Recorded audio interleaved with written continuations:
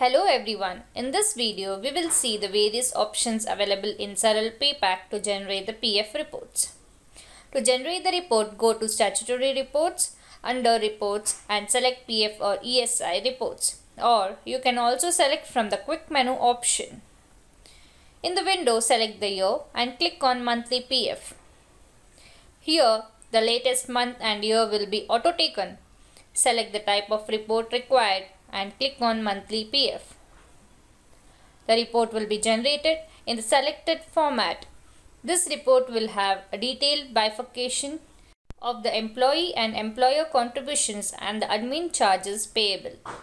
Similar to regular returns, if you want to take the report of supplementary PF return, then enable report on supplementary along with the month and year options. Next, select the month of return. The PF group is available report type and click on monthly PF. The PF report on the supplementary return will be displayed.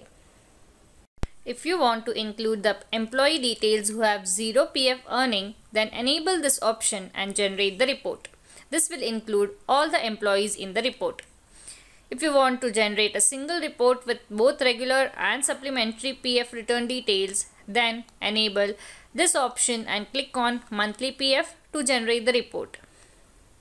If multiple PF groups are available and PF group name has to be displayed on the report, then enable Show PF group name in the report option. Similarly, if the payday of the employees for the selected months has to be displayed in the report, then enable Include Paydays in the report option. This will show a separate column of paydays in the report. You can also filter the employee details on the report using various criteria on the filter page.